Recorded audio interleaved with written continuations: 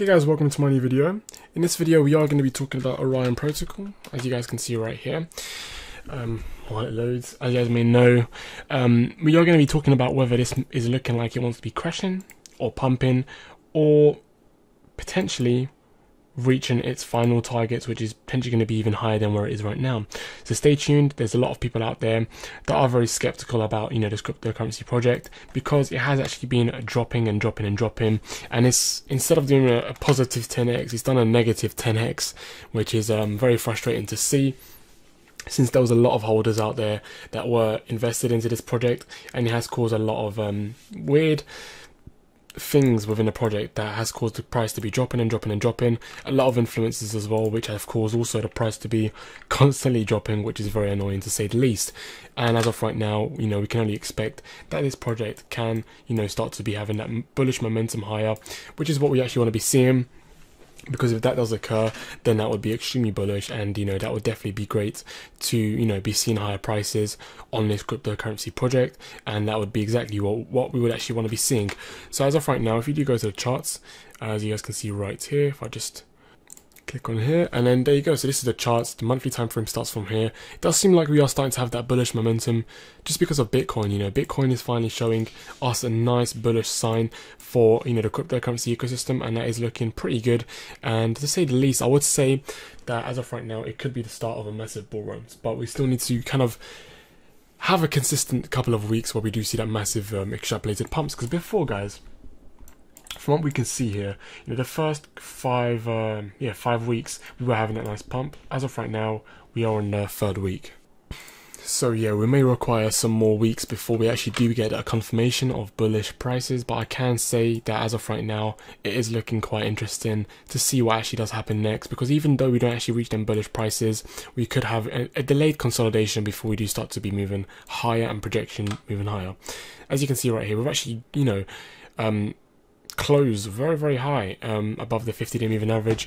This could possibly be the start to a you know big bull run. I'm hoping it does but keep in mind guys we did previously see these consecutive bullish candles and then we just saw that massive drop down again. So I'm hoping this is not one of the manipulations that does tend to happen because a lot of people, you know, kind of buy and dump it as well because you know the market um, is run by buying and selling pressure, especially for ORN. If someone bought $10 million worth of ORN, you are going to be seeing that on the charts. And uh, unfortunately, we can't really help that. And uh, there, there are a lot of people that are trying to get rid of their cryptocurrencies because you know, they have been seeing this cryptocurrency constantly be dumping and dumping and dumping, and they are thinking to themselves that they are better off just, you know, holding other cryptocurrencies because, you know, if anyone that's been holding cryptocurrencies for so long, you know, you can lose motivation and it can be kind of a, a detra a uh, not so good experience. I was trying to think of a fancy word to say there, but yeah, it, it, it may not be a very good experience, especially when you're used to seeing that the cryptocurrency projects, you know, most of the time end up pumping but when they do dump for quite some time many people just want to be selling even though if it's at a loss or at a small gain which you know that has caused a lot of people to reach that breaking point unfortunately. And uh, yeah that is where we are right now. And i could potentially you know um, show you guys some bullish formations. As you can see here, we have got this four hour time frame. We are above all of the moving averages. Once we do cross here, that would be a nice confirmation of bullishness. This, however, is extremely bullish, and I would say that we could start to continue to move higher. I do think that, you know, this is not just going to be rejected. I do want to see us maybe reject lower and then start to move up higher again. That would be perfectly great to be seeing that.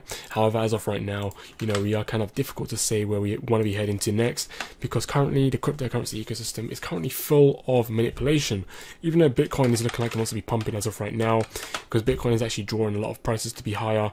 We are seeing a lot of um, a nice little trend line up here because if, you, if if I just show you guys where the trend line is forming from this swing low, for actually we can draw it out from here. To be fair, there you go. This nice little um, trend line it is being drawn out. We've got like a nice little wedge from this high to that high. I'm just going to draw that out for you guys so you can actually see that. It might start from here actually if I just draw it out a little bit from this high or it could be from this high which could have caused the extrapolated move higher as you can see, a simple break and retest. We've broken out of that. We've broken out of that. We didn't really retest it. So this was like a wedge, a nice little triangle that we've broken out. And it is looking quite nice and bullish as of right now. I do hope that we can consistently stay up there because as of right now, it is looking quite interesting to where, what actually does happen next. I do think that we could get up to 50k if we can continue this bullish momentum. I'm hoping it does because that would be quite bullish for crypto. And yeah, um, I will be giving you guys more and more updates as to what actually does happen next for crypto and ORN as well. Stay tuned. This is not financial advice. Always do your own research and peace.